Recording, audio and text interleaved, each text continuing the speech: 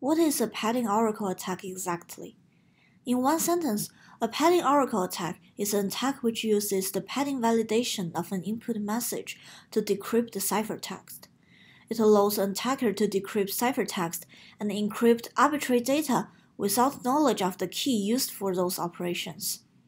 This can lead to leakage of sensible data or to privilege escalation vulnerabilities.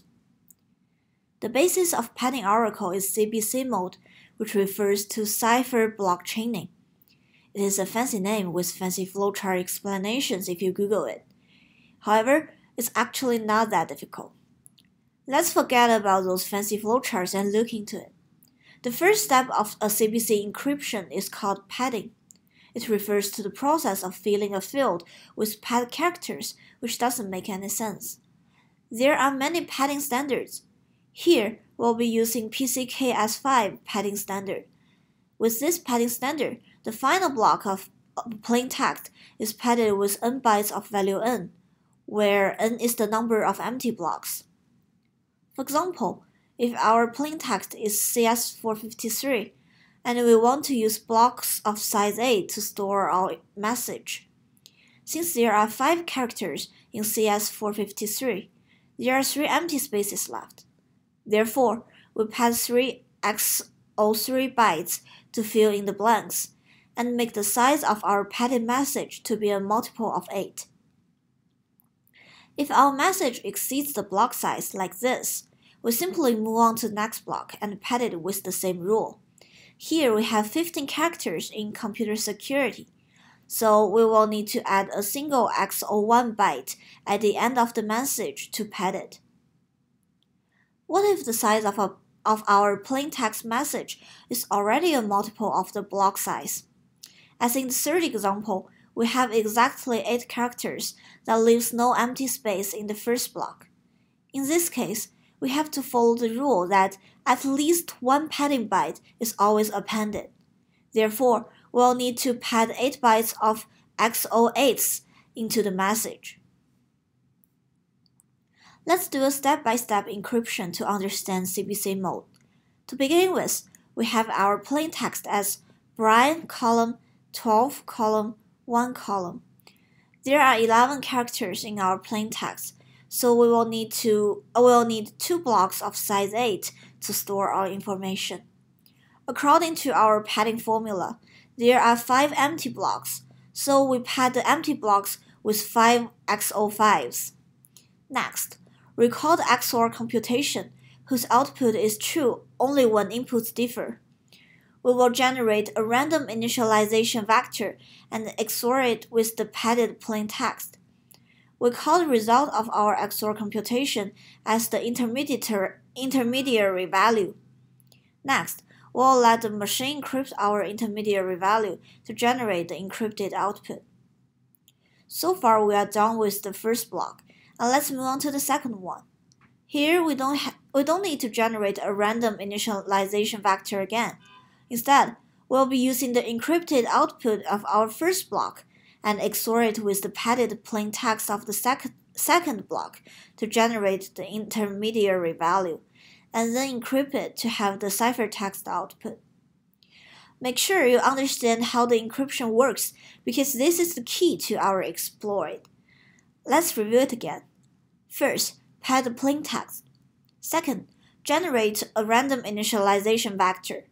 Third, XOR the padded plain text with the initialization vector to generate an intermediary value, and then let the machine to encrypt the intermediary value. Fourth, the ciphertext of the previous block is used as the key in the next block to be XORed with the padded plain text. Now let's think from the other direction. What will happen if we want to decrypt the ciphertext? Hmm, looks like we need to know the intermediary value to decipher the text. But how? Don't be disappointed. You are already very close to the answer. The best part of padding oracle attack is that the server will let you know if you are on the right track. More specifically, you will usually face a link that looks like this and you can modify the ciphertext in the brackets, and the server will respond to you differently under different conditions. There are three types of responses. The first is a 200 response, which indicates valid padding and valid data. The second is a 500 or 403 response, which indicates invalid padding. The third is a 404 response, which indicates valid padding and invalid data. If the padding is valid, which will return either 200 or 404, recall our definition of value padding, that is, the message ends with n blocks of n. Therefore, now we know what the plain text looks like. So the de decryption becomes very simple. We can just make brute forcing guesses on the initialization vector and see if the plain text is padded correctly accordingly. If it is, we can go back and calculate the intermediary value that was originally unknown to us. This might still sound vague to you, so let's perform a step-to-step -step attack. In the first step, we insert 16 bytes of zeros at the beginning of our input.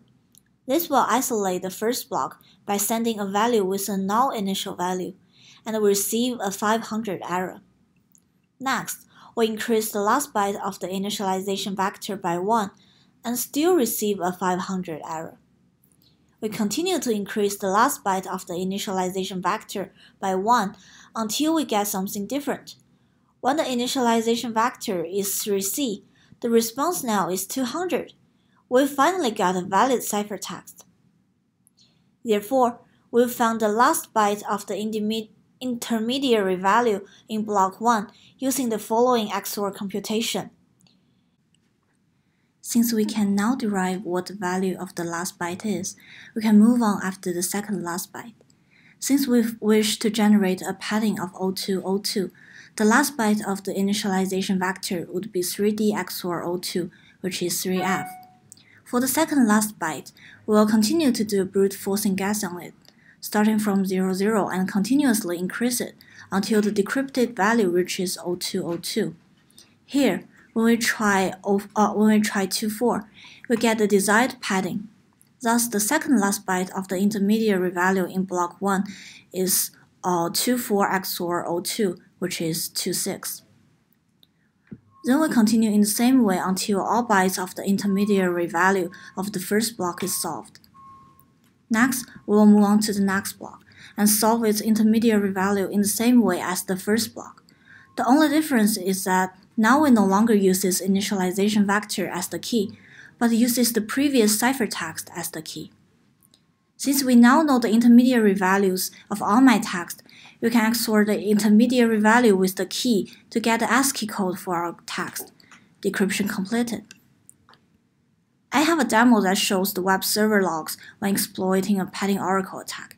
Our goal is to decrypt the secret data from the logs.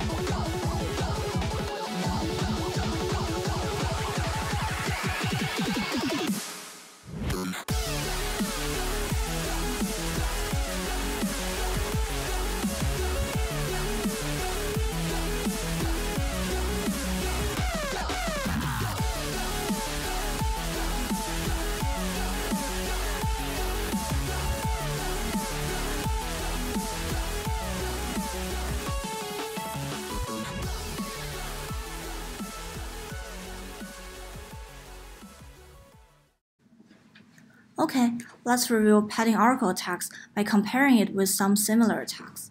As I see it, padding oracle attack work in a similar way as blind SQL injection, which is to ask the database true or false questions and find the answer based on the application responses.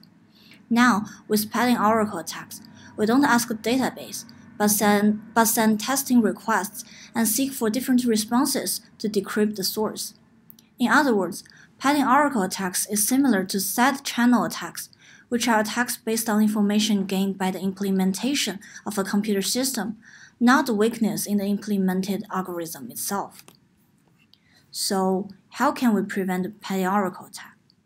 The most common solution is to enable custom errors with response rewriting and create a single error page with all error types. Therefore, it will return the same status code and responses in all three cases. The key to this method is to hide what exact server error has occurred from the attacker. In this way, the attacker will have no idea whether their manipulated key is causing an error or if it is passing through successfully. Therefore, they would not be able to exploit the web page anymore.